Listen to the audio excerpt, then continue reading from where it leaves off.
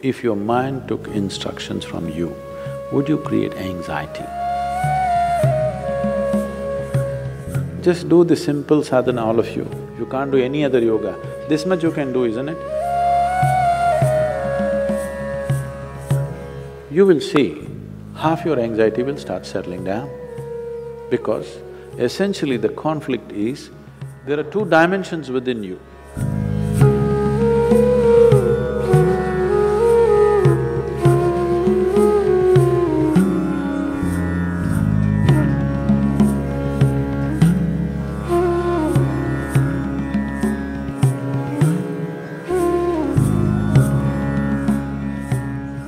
If your mind took instructions from you, would you create anxiety? No. So don't look for answers elsewhere, elsewhere, elsewhere. It is just that your own physiology and your psychological patterns not taking instructions from you. So you… you said so many things, I try, you know, whatever these big words are floating all over California particularly, about surrendering to it, about letting it go, about… Not for one person has such a thing worked, ever. Has it, I'm asking you? You have anxiety, try to let it go. Does it go? Even a flu, damn flu doesn't go. Yes or no? Even a simple cold does not go, you say go, does it go? So, let's not get into this fanciful states of surrendering, these are all words thrown around. Nobody knows what is surrender. because when it happens, you will not know it has happened. You can't do it, I surrendered. How's that possible? so, leaving those things, essentially, as I said, you have not read the user's manual of how this works. We need to pay attention to this. The system is made in such a way, if you hold your hand like this, it'll work one way. If you do like this, it'll work another way. If you do like that, it'll work another way. It's a phenomenal process. If it was a simple thing, we could have just beaten it into shape with hammer and anvil, okay? It's too sophisticated. It's a phenomenally complex machine. One needs to pay a certain level of attention to be able to use it for what it is designed for. Otherwise, it'll get itself messed up. Now, there may be many factors, there may be genetic factors, there may be sociological factors, there may be growing up issues, you know, various things. But do not ascribe your problems to any of those things. The important thing is just this, you are not able to have your mind the way you want it. That's the only problem you have, isn't it? The moment you ascribe it, I'm like this because my father was like that, I'm like this because my grandfather's genetics were not okay, you're finished. Because we can't change those guys now. Yes? You can't choose a different father or a different grandfather now, it's over. But you can transform this. You must understand, still it doesn't matter you have anxiety disorder. Still, if you put a piece of carrot, there is an intelligence here which can transform a carrot into a human being. That means every day a new body is being manufactured within you, isn't it? In parts, a new human being is manufactured every day. When the very source of creation is functioning within you and a new human being is constantly being created, if you take little charge of that, you can create an entire new physiological and psychological process. This happened to us some time ago. Last year, we were trekking in Tibet. I was in a tent. I was doing some work and uh, another person was cutting an apple. You know, one of these uh, porcelain knives these days. So the other person around says to this person, it's a very sharp knife, be careful. It irritates me a bit. I look like this because he's a grown man. If it's a child, it's different. Then we have to watch how he uses the knife. It's a full-grown man. And a knife is supposed to be sharp. if it's not sharp, why do you call it a knife? so I ignored it and continued to work. In another two minutes, she says again, it's a very sharp knife, be careful. I said, come on, he's a full-grown man, leave him alone, he knows he, how to use this knife. This stupid knife can't he handle?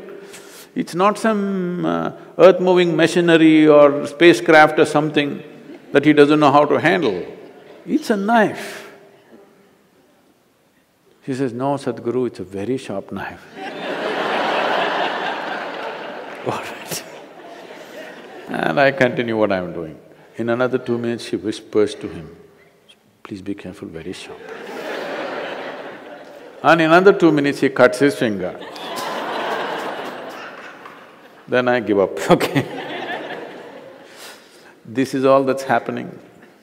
This is all that's happening with life. You have an intellect for which you don't have a stable enough platform. Or in other words, you have a sharp knife, oh, I'm sorry, a very sharp knife in a very sharp knife in your hand, but your hand is not steady. Please see, it's your own mind which is causing all this pain, isn't it? Yes or no? So you have a very sharp knife, the sharper it is, the more you cut yourself. So we don't have to blunt the knife, we just have to have a steady hand, isn't it?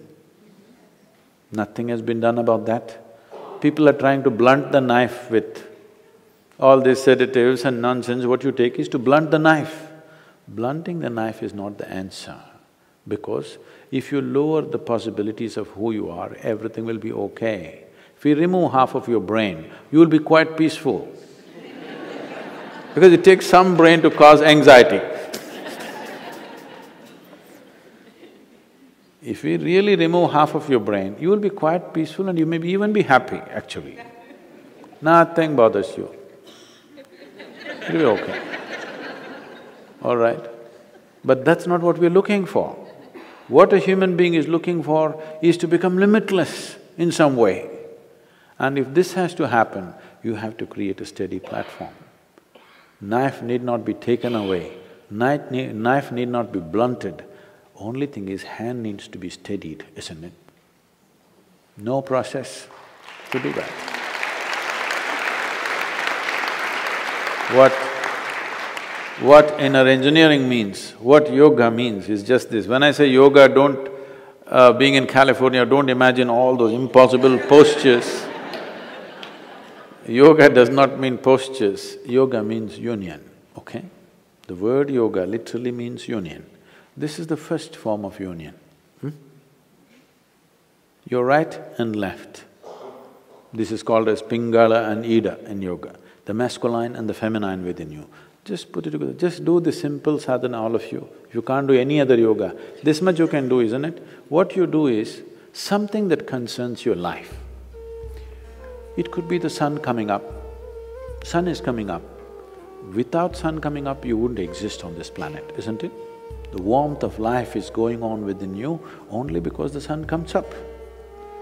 Without the tree exhaling oxygen and you exhaling in carbon dioxide for it and this exchange happening, you wouldn't be alive, isn't it? Like this, look at it, the food that you eat, the sun, the earth that you walk upon, air that you breathe, water that you drink, people who live around you, whatever, you choose anyone. Just do this, put your right and left together perfectly, not like this, not like this, perfectly, okay? Just look at something that really matters to you. Maybe the sun, maybe the sky, maybe the cloud, maybe a tree, maybe a person, maybe a child, an animal, it doesn't matter what. Just look at it, putting your hands together for ten, twelve minutes at a stretch, you will see half your anxiety will start settling down. Because essentially the conflict is, there are two dimensions within you. For… I don't want to go into an elaborate description of this, because the yoga physio… the yogic physiology goes elaborately into this. But to put it simply, even modern modern medical science is telling you there's a right brain and a left brain, all right? Just put these two things together look at with utmost love and appreciation towards something that matters to you. It could be your wife, it could be your husband, it could be your child, a tree, a dog, sky, sun, moon, whatever. Every one of them are vital for your life, isn't it so? Yes? Whatever you can relate to. Putting these two things together, just look at them with utmost pleasantness that you can generate, recognizing how important they are for you. Many things will change. This is the first form of yoga. If I do this, it'll become difficult. And there are many ways to do namaskar, like this, like that, like that. This is the most simple thing. Start here, okay